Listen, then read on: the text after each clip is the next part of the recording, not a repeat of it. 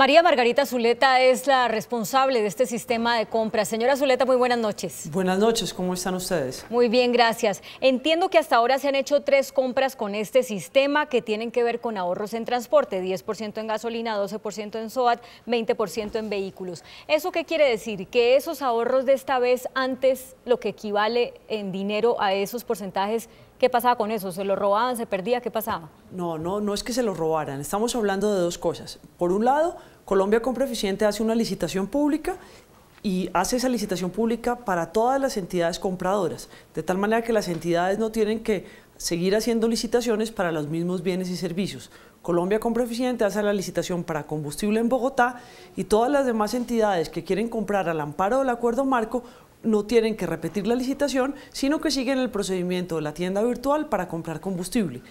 Pero al agregar demanda, logramos una reducción en los precios, porque cuando el Estado compra como una sola organización, obtiene mejores precios. Entonces, lo que, las ventajas que tiene la tienda virtual, por un lado, es la posibilidad de tener mejores, eh, mejores precios, pero adicionalmente que las entidades estatales invierten mucho menos tiempo eh, en el proceso de contratación. Antes, por ejemplo, para combustible se gastaban cuatro meses. Ahora, en una hora pueden comprar el combustible en la ciudad de Bogotá. Mientras le hago la siguiente pregunta, vamos a ver gráficamente en la página web cómo es que se puede entrar para hacer parte de Colombia Compra Eficiente. Pero lo otro que quiero preguntarle es si esto quiere decir que, em, o sea, que solo tres, ¿por qué solo tres compras en un año?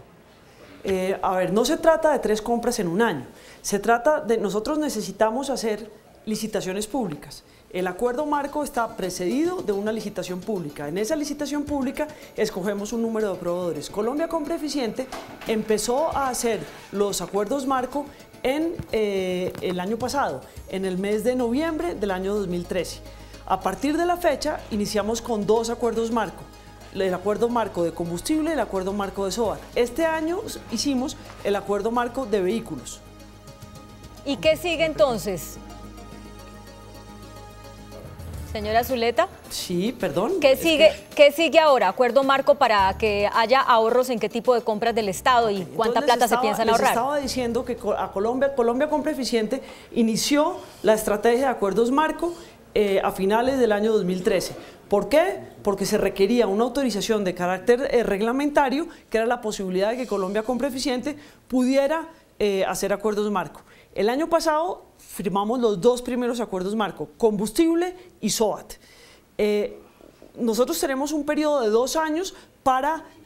Perdón, pero si ustedes siguen hablando, yo no puedo. Estamos en vivo, señora Zuleta. Qué pena interrumpirla, pero ya se nos va a acabar el tiempo. A ver, el punto es el siguiente. Nosotros hacemos acuerdos marco, que son licitaciones públicas para, para ah, eh, estandarizar la demanda de bienes y servicios de las entidades del Estado. Al estandarizar la demanda de bienes y servicios del Estado, nosotros podemos comprar como una sola entidad. El acuerdo marco no es una cosa que se termina inmediatamente. Nosotros con el acuerdo marco hacemos una licitación pública, adjudicamos el acuerdo marco y durante un término de dos años las entidades estatales pueden comprar, cualquier entidad estatal, esos bienes u esos servicios. Con esos precios tope eh, consiguen unas mejores condiciones de precio, unas condiciones estándar de entrega de bienes y servicios y se demoran entre una hora y diez días cuando anteriormente se demoraban cuatro meses. Empezamos, como decía, con combustible y con SOAT.